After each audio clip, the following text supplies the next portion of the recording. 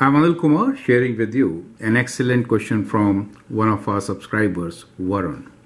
Varun, thanks a lot for sharing this question, and I hope many of our viewers will understand and appreciate it. The question here is A cannonball is fired with velocity of 100 meters per second at an angle of theta. At what angle should the cannon aim to hit a target 900 meters away? So here is the situation. So we are assuming that the cannonball has been fired from the ground level at an angle of theta. So it goes kind of like this. And we want to hit a target which is 900 meters away. So, so this is 900 meters away.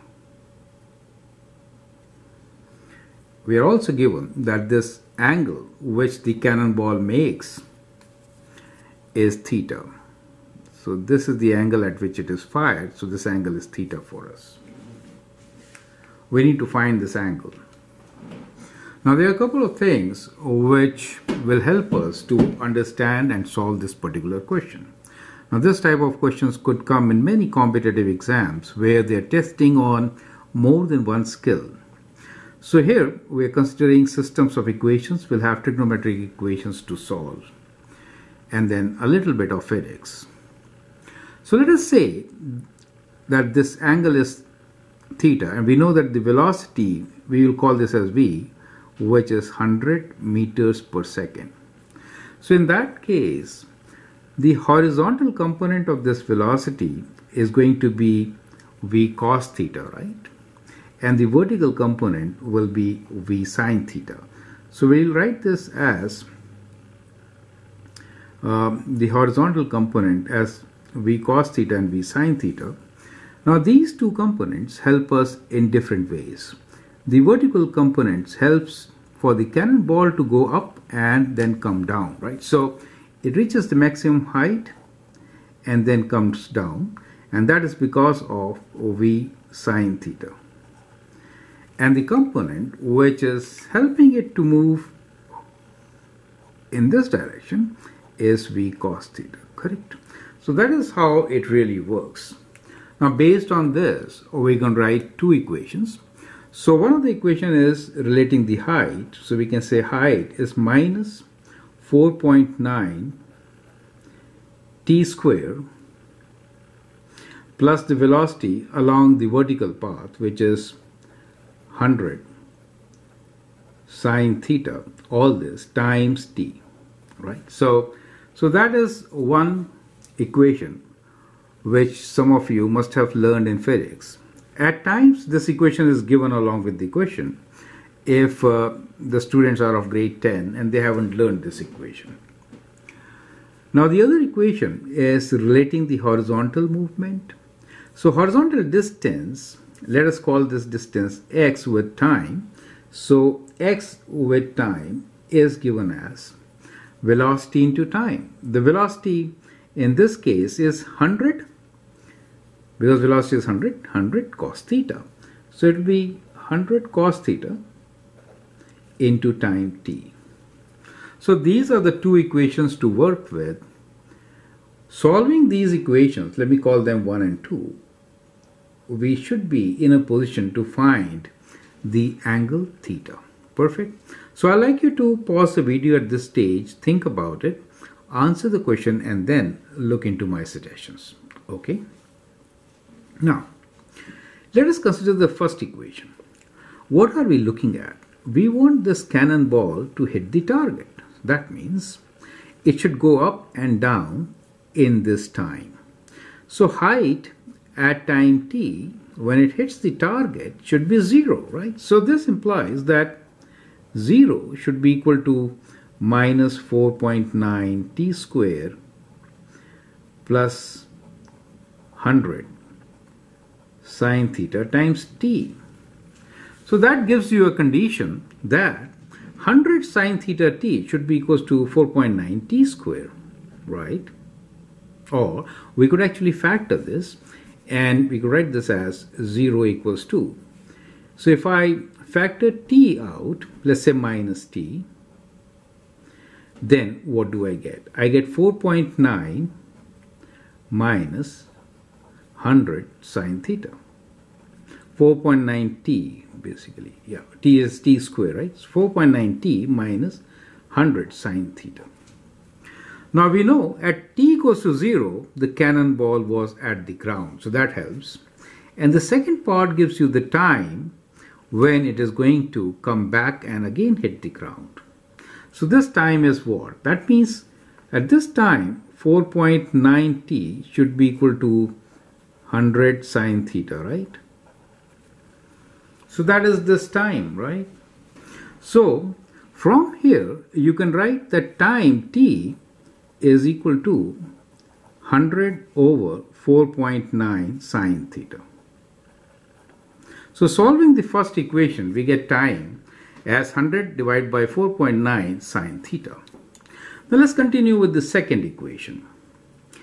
The distance which a cannonball has to travel horizontally is 900. Therefore, 900 should be equal to 100 cos theta times t. So from here, we get the value of t as equal to what? We get 900 divided by 100 cos theta as equal to t. Right? So let's call these equations as our equation number 3 and 4.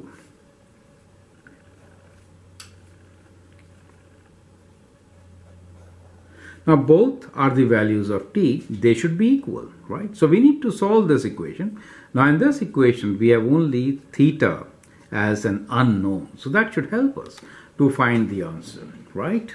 So at this stage, you can actually pause the video, answer, and then look into my suggestions. So we know that t is basically equal to 9, 100 when divides into 9 you get 9 divided by cos theta and that should be equal to 100 divided by 4.9 sine theta, right?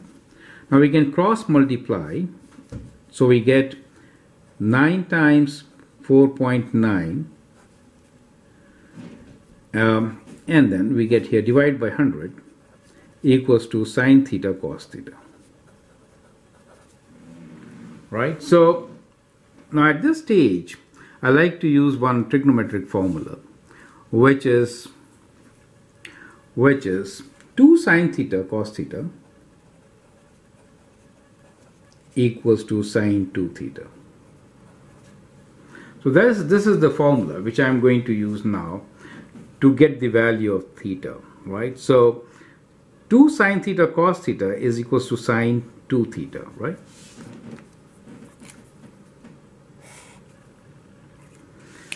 So using this formula, what we can do here is we can multiply both sides by 2, right? So what we get here is 2 times 9 times 4.9 divided by 100 equals to 2 sine theta cos theta which is equals to sine 2 theta right? So we got a value which is sine just in sine right? The angle is 2 theta. Now we can find what 2 theta is taking sine inverse on both the sides okay so that is how we are going to find the solution. So we can write here as sine of sine inverse of 2 times 9 times, I'm just keeping these values as such, over, this is 4.9 over 100, right, is equal to 2 times theta. So that gives you the answer. So let's use the calculator. We have shift sine inverse 2 times 9 times 4.9 divided by 100 is equal to so we get 61.88 so we get 61.88 equals to 2 theta and that implies that theta equals to 61.88 divided by 2 so let's divide this by 2 which gives us 30.94 degrees correct so that becomes the solution of the given equation. We can round this to approximately 31 degrees. Is that clear? So that is how we can solve such a question. So we get angle as 31 degrees. Now some of you have done the same analysis for projectile motion using the range formula. So you could also use the range formula to solve this question, right? Which is kind of similar approach as I have used in this particular question. I hope that helps. So I hope the solution is absolutely clear. Feel free to write a comment, share your views. Varun, thanks again for sharing this question with me. I hope it helps. Thanks for watching and all the best.